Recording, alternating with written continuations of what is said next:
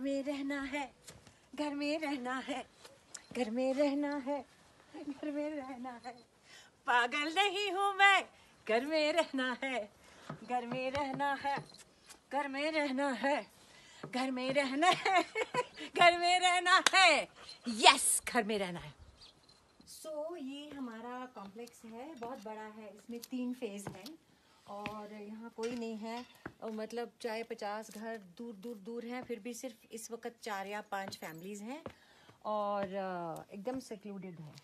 तो परसों पंचायत वाले यहाँ आए और यहाँ का जो मैनेजर है, उससे पूछा, कौन कौन है यहाँ? हम सबके नंबर लिए, पूछा, कोई बीमार है कि नहीं है? और सबके नंबर लेके गए।